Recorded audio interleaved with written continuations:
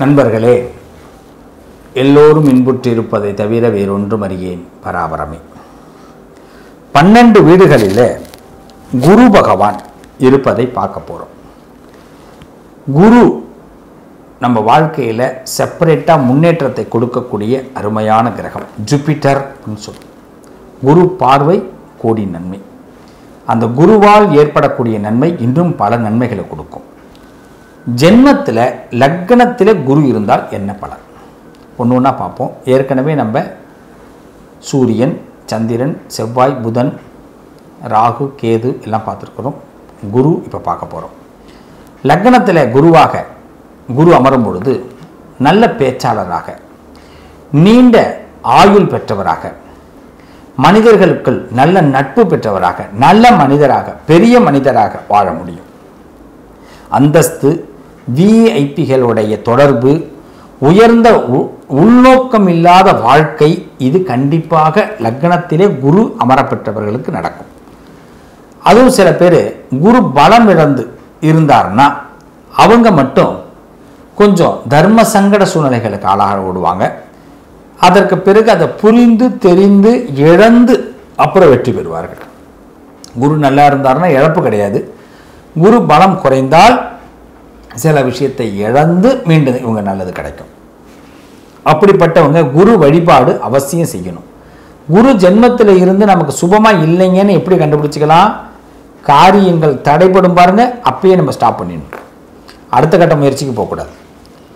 ரெண்டாம் இடத்துல குரு. ரெண்டாம் இடம்ங்கிறது குடும்பஸ்தானம். கண்டிப்பாக வாக்கு சாதுரியம் கிடைக்கும். நீதிபதிகளாக நீதிமன்றத்தில் வா வேலை பார்ப்பவர்கள் வாத்தியார் வழக்கறிஞர்கள் வாத்தியார் கணக்கு போடக்கூடியவர்கள் காமர்ஸ் படிப்பு சொல்லுவாங்க இல்லைங்களா? அதெல்லாம் ரெண்டாம் இடத்துல குரு இருந்தால் நல்லது நடக்கும். பண வரவுலாம் செழிப்பாக இருக்கும். குடும்பத்தில் சந்தோஷம் இருக்கும். எப்போ பார்த்தாலும் குடும்பத்துக்குள்ளேயே இருப்பாங்க. ரொம்ப அன்னோன்யமாக இருப்பாங்க. ஹஸ்பண்ட் ஒய்ஃப் குழந்தை அப்படியே அந்த குடும்பத்துக்குள்ளேயே ஒரு இது இருக்கும். அந்த குடும்பம் நல்ல விதமாகவும் இருக்கும். அதே குரு சாதகமான வீட்டில் இல்லாமல் இருந்தால் ரெண்டாம் இடமாக இருந்து அவர் பலம் இழந்திருந்தார்னா பாவிகளோடு சேர்ந்திருந்தாலோ சில சிரமத்தை கொடுப்பார். அது ஒரு குருட்சேத்திர போரில் இருக்கிற மாதிரி இருக்கும். வீட்டில் அது மாதிரி சில பேர் சில சண்டையாக இருந்துகிட்டே இருக்கும். பண இழப்பு இருக்கும். பணம் இருக்காது. குரு நல்லா இருந்தாருன்னா சூப்பராக இருக்கும். அப்படி குரு நல்லா இருந்தால் பிரச்சனை இல்லை. குரு நல்லா இல்லை அப்படின்னா குரு வழிபாடு அவசியம் பண்ணுங்க. ரொம்ப சிம்பிள் வியாழக்கிழமை வியாழக்கிழமை குரு பகவானுக்கு கொண்டக்கடலை மாலை உங்கள் கையால் கோத்து போட்டு குருவை வழிபாடு பண்ணுங்கள் நிச்சயமாக குரு பலன் கண்டிப்பாக கிடைக்கும். வாழ்த்துக்கள். அடுத்தது தைரியஸ்தானம். இது வந்து மூன்றாவது இடம்னு பேர். சகோதர ஸ்தானம்னு சொல்லுவாங்க. இதில் என்னென்னா குரு நல்லா இருந்தாருன்னா மூன்றாம் இடம்ங்கிறது தனித்து வெற்றி பெற முடியும். எதிர்த்து வெற்றி பெற முடியும். அதே மாதிரி பார்த்தீங்கன்னா இந்த சகோதரர்கள்ட்ட இளைய சகோதரர்கள் சொல்லுவாங்க. மூணாம் இடத்துல குரு இருந்தால் கொஞ்சம் அவங்களுக்கு சிரமம். நமக்கு வாக்கியா சண்டை. அவங்களால நமக்கு கொஞ்சம் சிரமம். நமக்கு நம்மளால அவங்களுக்கு சிரமம். அதுமாரி பார்த்திங்கன்னா பார்த்தீங்கன்னா குரு மூன்றாம் இடத்துல இருக்கும்போது நமக்கு எதிர் பாலினர்கள் நமக்கு வந்து நல்ல நட்பு கிடைக்கும். அதே வந்து குரு நமக்கு வந்து கெட்ட இடத்துல இருந்தால் அதாவது கெட்ட இடம் என்றால் மூன்றாம் இடம் சாதகம் இல்லாமல் பலம் இல்லாமல் இருந்தார்னா சகோதரர்களுக்கு பிரச்சனை ஏற்படும். மேக்சிமம் வராது. குரு மூணாம் இடத்துல இருந்து நன்மையாக தான் நமக்கு அதிகமாக கொடுப்பார். அப்படி மூணாம் இடம் பாவியாக இருந்து மூணாம் இடம் பலம் இழ- இழந்திருந்தால் நீங்கள் சகோதரர்களுக்காக பரிகாரம் செய்து கொள்ளுங்கள். குரு வழிபாடு அதிகமாக பண்ணணும். நாலாம் இடம் சுகஸ்தானம்னு சொல்லுவோம். இந்த நாலாம் இடத்துல குரு இருந்தாருன்னா நல்ல செல்வாக்கு கிடைக்கும். நிறைய வீடு மனை யோகங்கள்லாம் கிடைக்கும். சில பேர் வெளிநாடு வாய்ப்பு வெளியூர் பயணங்கள்லாம் கண்டிப்பாக போவாங்க. நல்ல பழக்க வழக்கம் உயர்கல்வி நல்ல யோகம் மோகத்தில் ஈடுபாடு இதெல்லாம் ஏற்படும். நிறைய நல்ல விஷயங்கள் நடக்கும். அதே நாலாம் இடம் சரியில்லாமல் குரு இருந்தாருன்னா நமக்கு இருக்கிற சொத்தை விற்கிற மாதிரி இருக்கும். சம்பாரித்ததை விற்கிற மாதிரி இருக்கும். அதனால் நல்ல நல்ல விஷயங்கள் கண்டிப்பாக கிடைக்கும். அடுத்தது ஐந்தாவது இடம் பூர்வீக புண்ணியஸ்தானம். ஐந்தில் குரு இருந்தால் சில பேருக்கு ஆண் குழந்தை பிறக்காது. வாரிசு பிரச்சனைகள் ஏற்படும். அது நல்ல இடமாக இருந்ததுன்னா வாரிசு பிரச்சனை இருக்காது. நல்ல இடம் இல்லாமல் பலம் இழந்து இருந்தால் ஆண் குழந்தை பிறக்காமல் போக வாய்ப்பு உண்டு. அதே மாதிரி பொம்பளை பிள்ளைங்க நிறைய பிறக்கும் பெண் குழந்தைகள் பிறப்பார்கள். அதே மாதிரி அறிவாற்றல் அதிகமாக இருக்கும். பரந்த மனப்பான்மை புத்திசாலித்தனம் வெளிநாடு வாய்ப்புகள் பெரியவர்களோட பெரியோர்களோட ஆசீர்வாதம் நிறைய பிளெஸ்ஸிங் மட்டும் வாங்கிட்டாங்கன்னா ஆம்பளை பிள்ளைய பிறக்கும். ஐந்தில் குரு இருந்து பிளெஸ்ஸிங் நிறைய வாங்கணும். பெரியவர்களோட பிளெஸ்ஸிங் குருவோடைய பிளெஸ்ஸிங் ஒரு குருவுக்கு பக்கத்துலேயே இருக்கணும். கண்டிப்பாக ஆண் பிள்ளையெல்லாம் பிறக்கும். பயப்படவே பயப்படாதீங்க.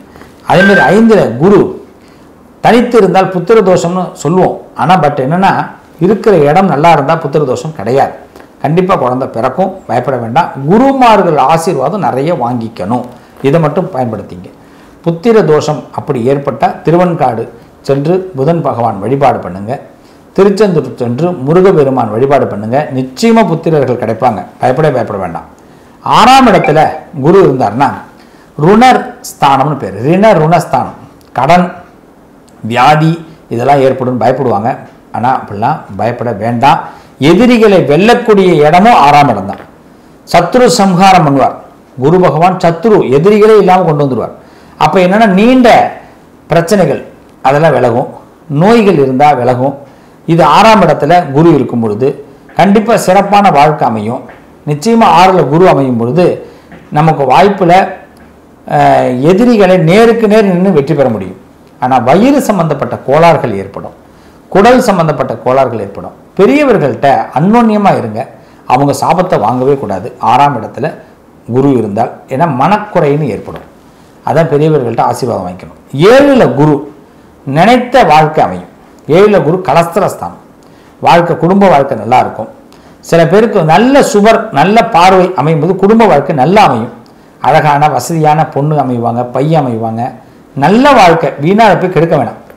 அதே ஏழு சுபமாக இல்லை குரு அப்படின்னா குடும்பத்தில் மன அதாவது திருமணம் முறிவு ஏற்படும். மன முறிவுன்னு சொல்லுவாங்க. திருமணம். சுபமாக இல்லைன்னா தான் இருந்தாருன்னா கண்டிப்பாக இல்லற வாழ்க்கை நல்லா இருக்கும் பயப்பட பயப்பட வேண்டாம்.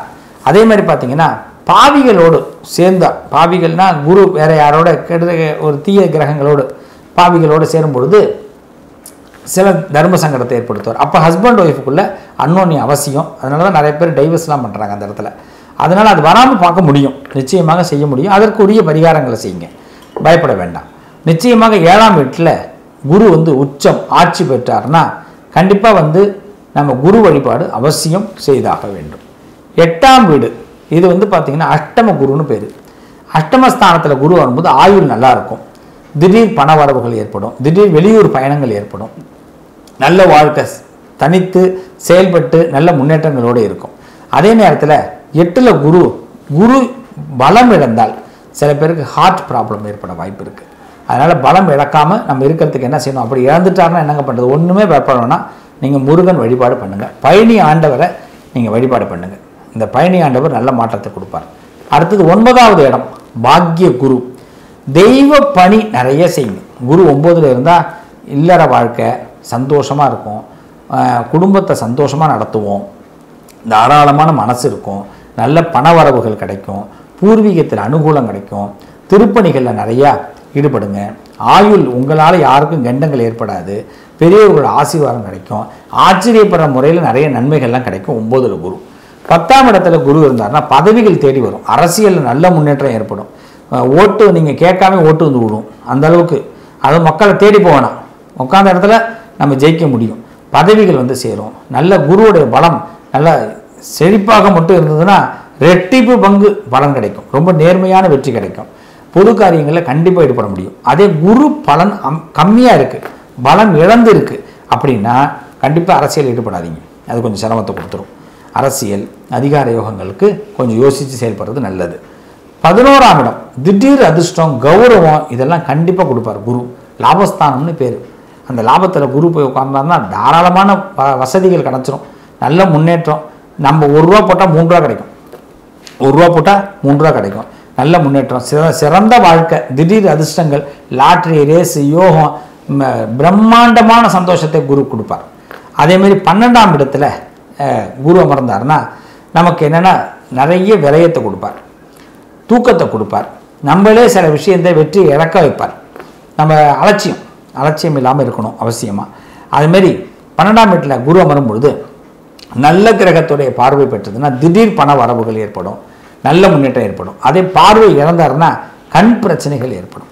குருவை பொறுத்த வரைக்கும் விரயத்தில் இருந்தாருன்னா நம்ம சில செயல்களில் வேண்டான்னு நினைக்கும் போது அதை தவிர்ப்பது நல்லது. அதை மீண்டும் செய்வது அவசியம் நமக்கு தடைப்படும். குரு எல்லாருக்கும் நன்மைகளை கொடுப்பார். குரு பார்க்க கோடி நன்மை. குருவுடைய பிரச்சனை எந்த இடத்துல இருந்தாலும் குருவை நாம் தொடர்ந்து வழிபாடு பண்ணுங்கள் வீட்டில் அப்பா அம்மா அவங்களுக்கு கண்டிப்பாக பிளெஸ்ஸிங் அவங்கள்ட்ட வாங்குங்க. கண்டிப்பாக வீட்டில் பெரியவர்கள்ட்ட ஆசீர்வாதம் வாங்கிங்க நமக்கு பள்ளிக்கூடம் கற்றுக் கொடுத்தவர்களுக்கும் பள்ளியில் கற்றுக் கொடுத்தவர்கள் கலை கற்றுக் கொடுத்தவர்கள் இந்த குருமார்களை மதிங்க.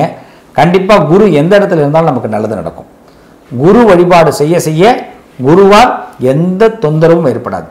ஆனால் குருவை நல்ல இடத்திலே இருந்து உச்சமே பெற்றாலும் குருவை அவமதித்தால் தாய் தந்தையரை வழிபட மறுத்தால் கண்டிப்பாக நமக்கு பலன் குரு பலன் கம்மியாயிடும்.